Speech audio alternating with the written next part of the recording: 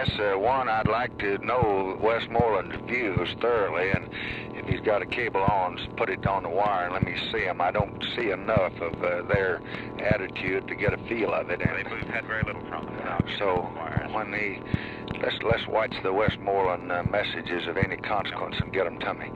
The second thing. Uh, uh, I, I would like to know from Rusk if he has any feelers out anywhere. He has a feeler out and no response to it. He talked to the uh, Romanian, Hungarian Friday afternoon and said uh, what happened in the south would depend on what the Viet Cong did, but that uh, could tell the Hungarians there would be nothing in the north for a day or so. That was now two and a half days ago. I wouldn't object to going a day or two if uh, If there's any money in it. if the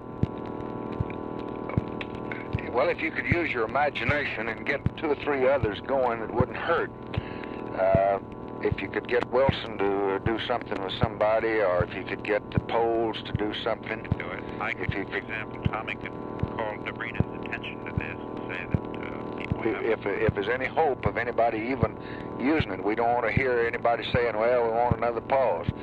But if there's any hope that anybody making any use of this, uh, we'd like to know it without making a commitment. And I, I don't know who, uh, who uh, could get to talk to, but I guess uh, somebody, Wilson, we need to, we need that court of public opinion a little bit, and he always likes to get into it, and Yeah. Canada too, and. Uh, and maybe the Poles where you'd be in a position uh, 48 hours from now to say to them, uh, now we notified all these folks, and we we then after we waited uh, two and a half days, we told them again that if there's any reason why we could go a little longer, and we if there's anybody at work, we'll do it. But if it's just uh, allowing them to mount a new offensive and to murder people, well, we got to defend ourselves.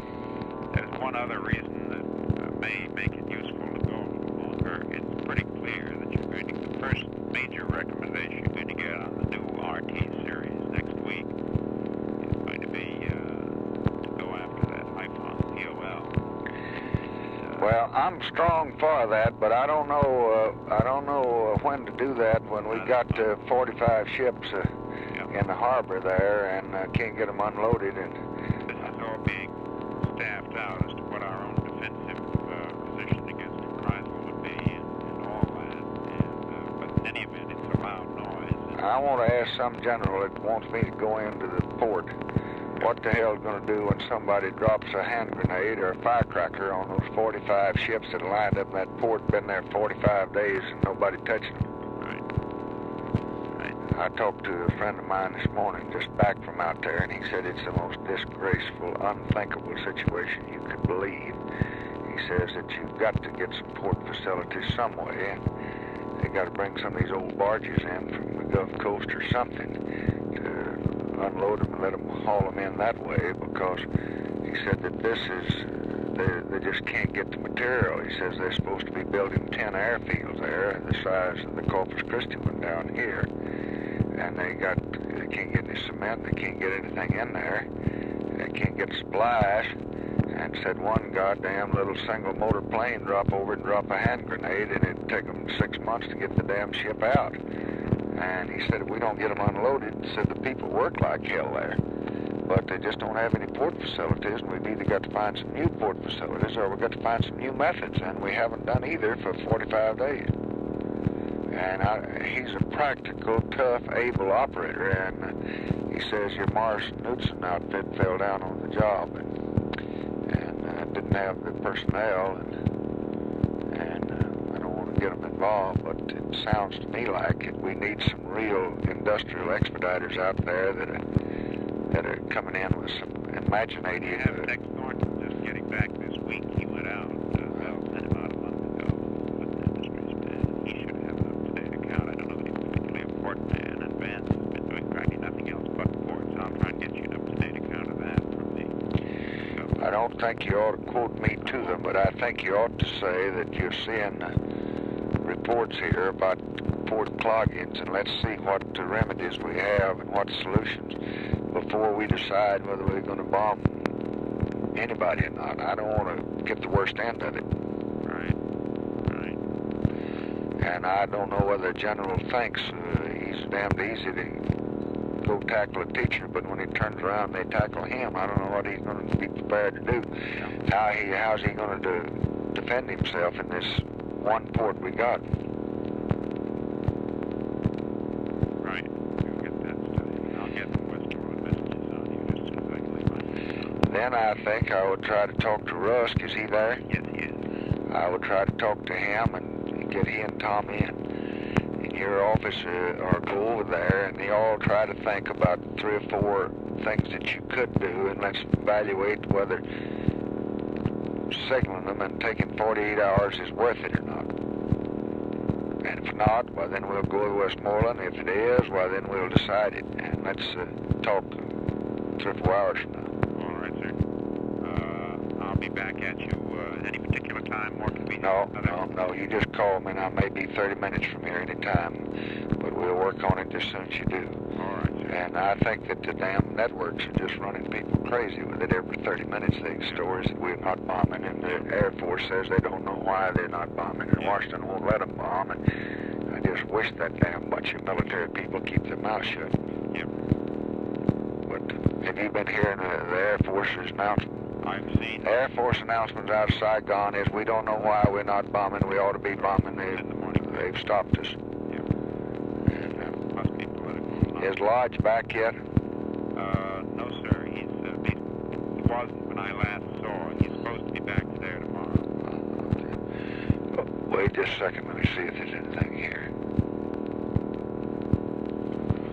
Have you gone over my message to the head of the Philippines? Yeah, I'm not satisfied with it, and I'm uh, they're having a meeting, uh, Humphrey and Rusk, right now uh, to review the question of what might be asked out there. The question really is whether Humphrey ought to put the how hard he ought to put it to him orally. Your message doesn't say anything, but Vietnam is very important, and Humphrey will talk to you about it. And uh, the uh, we had a contingent agreement from Macapagal for about 2,200 men in a construction battalion. They have a legislative problem, the exact shape of which isn't as clear to me as it ought to be. And the question really is whether Humphrey might not simply say to him privately, look, we're going to need fighting men from the Philippines, but I'm not here to break up your inauguration by giving you an ultimatum. But this is the thing that matters most to us. The Philippines, he's got a mess. He's got empty coffers and sugar problems. I think you Vietnam with uh, Humphrey in any way, that he'll be in uh, every column in America in the morning. Yeah. I've cautioned the boy seven times, and uh, this morning every paper down here is full of all the trades he's going to propose and Yeah. what all he's going to do. And I think it would be a mistake to try to tell this man that just as he's, uh, I'd treat him just like I treated Wilson when he came in, that uh, I I wouldn't be coming out there to tell him that he's got to win our war for us. I'd get him out there and I'd brag on him and say he's the greatest guy in the world. And we've all got interest out there. And then when I got him away, I'd have uh, uh, somebody tell him, uh, let Bill Blair take a letter in and say, now, you told us, uh, the Filipinos told us that uh, you'd come to our rescue after the elections, and I agree with you. uh, here it is. I would love for Humphrey to do this when he learned, but he just cannot learn. He just does not know. I saw Richard Wilson's had a lengthy interview with him today, and two three more, and he is uh, giving out interviews now that that he is really on top of the world situation because he saw some Japanese newspaper man and that his image against Bobby Kennedy is not as bad as it, it, they say, and he's very defensive, and he's a fool. I told him if he quit worrying about his own goddamn image and go to worrying about the world a little bit and get these hirelings away from him, while we'll take care of his image. Uh, All he has to do is cut a little mustard in that's right. But uh, so I don't think it's wise to have him go out and, and make any proposition to anybody about anything. And I think Rusk ought to say to him we haven't reached any conclusions on what they ought to do. That the best thing he ought to do is just say that Vietnam is important to that area of the world, and if we get licked there, we don't know what how they'll stand up.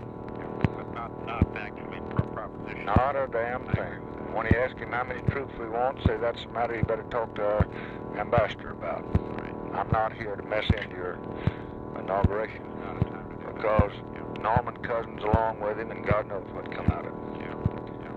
But I do think that uh, we ought to have the pause boys and the Bobbies and the Teddies and everybody else now that's got any ideas. Let's just have them and let's let's feel them out and let's see if uh, the New York Times, who's been uh, that daddy of the pause, if they've got any suggestions. They don't like it because we haven't announced it. Well, if they if they tell us who the hell's interested in it, we might announce it then. Just tell them. yeah. Right. If we can get anybody that's interested in it, the Russians not interested in it. Russians Who the hell? Which is- which is- Well, if they if they tell us who the hell's interested in it, we might announce it then. Just tell them. yeah. Right. If we can get anybody that's interested in it, the Russians are not interested in it. And I, I don't know who the hell the Chinese don't seem to be interested in it. And Hanoi is not interested much of a truce. I don't think there's anybody interested in it except uh, uh, Johnny Oakes. and he doesn't have any troops. Uh, but I think you might say to him, we've gone two three days and we're willing to go for two three months if anybody can show us anybody's interest. But we've contacted everybody. Now, if y'all got better sources, if Scotty's got a better source than we have, we'd like to have it. And I would certainly explore it uh, with Gronouski a little bit, let him make some pitch to somebody, and maybe the Canadians, uh, let them make a pitch, and just to take care of their Nobel Peace Prize people, and maybe Wilson. If we're going to do that, we'd have to sort of decide now to wait another two, three days to give uh, turnaround time. And that's what we need to look at the consequences of and how bad that is for Westy and so forth and so forth. We'll get that sorted out. What is this bombing in North Vietnam? Why is that bad on him if you wait for Morale, him? Mr. President. They're just scared to death that, uh, that we're not fighting the war hard enough. It's like these Marines that you see saying, Jesus Christ, Washington's trying to have it both ways, fight the war and have a truce, and you can't do it. And uh, there you can't. It's that Bob is absolutely right that whether we do or don't for a week has no more, makes no more impression than a uh, spoonful of sugar in a uh, bathtub. It's just nothing.